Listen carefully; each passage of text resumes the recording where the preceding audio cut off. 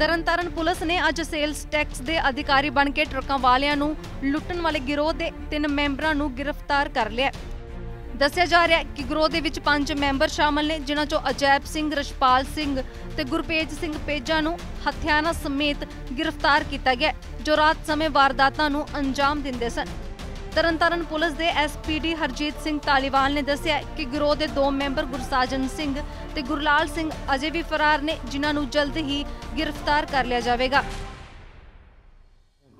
ਇਹ ਕੀ ਕਰਦੇ ਵੀ ਰਾਤ ਨੂੰ ਇਹ ਸੇਲ ਟੈਕਸ ਦੇ ਅਧਿਕਾਰੀ ਬਣ ਕੇ ਇੱਥੇ ਹਾਈਵੇ ਦੇ ਉੱਤੇ ਟਰੱਕਾਂ ਨੂੰ ਟਾਰਚ ਮਾਰ ਕੇ ਰੋਕਦੇ ਸੀ। ਫਿਰ ਇਹਨਾਂ ਕੋਲ ਮਾਰੂ ਹਥਿਆਰੀ ਵੈਪਨ ਸ਼ਾਰਪ ਵੈਪਨ ਹੈਗੇ ਆ ਪਿਸਟਲ ਵੀ ਹੈਗਾ, ਪੁੱਛਗਿੱਛ ਚਾਹੀਏ ਨੇ ਜੇ ਉਹ ਲੈ ਕੇ ਤੇ ਜਿਹੜੇ ਟਰੱਕਾਂ ਵਾਲੇ ਉਹਨਾਂ ਦੀ ਲੁੱਟ ਖੋਹ ਕਰਦੇ ਜਿੰਨੇ ਕਿ ਕੋ ਪੈਸੇ ਮਿਲੇ 10 20000 50000 ਜਿੰਨਾ ਮਿਲਿਆ ਉਹਦਾ ਮੋਬਾਈਲ। ਇਹ ਚੀਜ਼ਾਂ ਕਰਦੇ ਇਹ ਸਾਨੂੰ ਪਹਿਲਾਂ ਵੀ ਇਹਨਾਂ ਨੇ ਸ਼ਿਕਾਇਤ ਨਾ ਸ਼ਿਕਾਇਤਾਂ ਮਿਲਦੀਆਂ ਵੀ ਤੇ ਹੋਇਆ। ਹੁਣ ਪੁੱਛ ਗਏ ਸੀ ਵੀ ਇਹਨਾਂ ਘੱਟ ਤੋਂ ਘੱਟ ਕੋਈ 8-10 ਵਾਰ ਤਾਂ ਇੰਨੀਆਂ ਮੰਨੀਆਂ ਨੇ ਵੀ ਅਸੀਂ ਇੰਨੀਆਂ ਕੀਤੀਆਂ ਪੁਲਿਸ ਨੇ ਦੱਸਿਆ ਕਿ ਗਰੋਹ ਵੱਲੋਂ ਵਰਤੀ ਜਾਂਦੀ ਗੱਡੀ ਵੀ ਕਬਜ਼ੇ ਦੇ ਵਿੱਚ ਲੈ ਲਈ ਗਈ ਹੈ, ਜਦਕਿ ਫਰਾਰ ਮੈਂਬਰਾਂ ਦੀ ਭਾਲ ਕੀਤੀ ਜਾ ਰਹੀ ਹੈ।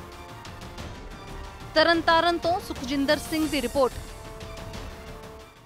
hello everyone my name is Deva Sethi I am from Phagwara और मैं 25 साल की हूँ। One of my friend from Jalandhar उन्होंने मुझे बॉडी फैप के बारे में बताया। सिर्फ़ तीन महीने यहाँ पे स्पेंड करने के बाद मैंने टोटल वेट लॉस यहाँ पे 16 के किया है और मेरा इंच लॉस भी 70 प्लस किया है। I would like to say please come here for a healthy weight loss and you will see the result thank you so much